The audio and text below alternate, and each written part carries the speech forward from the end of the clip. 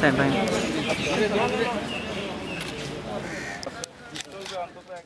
রাঙ্গুনিয়ার দুইশো ইমাম মুয়াজ্জিন ও বৌদ্ধ সম্প্রদায়ের খাদ্য সামগ্রী দিয়ে চট্টগ্রাম জেলা পুলিশ। সামাজিক দূরত্ব বজায় রাখিয়ে একশো ইমাম মুয়াজ্জিন ও একশো বৌদ্ধ সম্প্রদায়ের মানুষরে এই খাদ্য সামগ্রী তুলে দেওয়া হয়।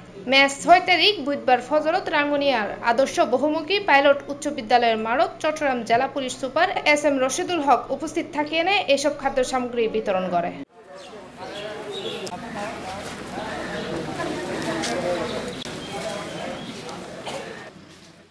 এ সময় উপস্থিত আছেন চট্টগ্রামের অতিরিক্ত পুলিশ সুপার উত্তর, মশিউদ্দৌলা রেজা, সহকারী police super Rangunia circle, Abul Kalam Azad. Rangunia থানার ভারপ্রাপ্ত কর্মকর্তা মোহাম্মদ সাইফুল ইসলাম, পুলিশ পরিদর্শক মোহাম্মদ মাহবুবুল মিল্কি সহ বোধকই বেকারে সরকারের দেয়া স্বাস্থ্য সতর্কতা মানি চলিবার আহ্বান জানিয়ে police super S M Rashidul Haque.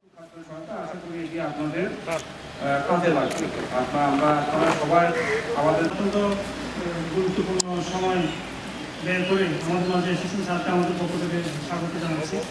আপনাদেরকে আমরা দিব না আমরা আপনাদেরকে জাস্ট স্যারের সেটা নির্মূলের জন্য আমরা কাজ করছি। স্যারের নেতৃত্বে চট্টগ্রাম জেলা পুলিশ জেলা ব্যাপী এরকম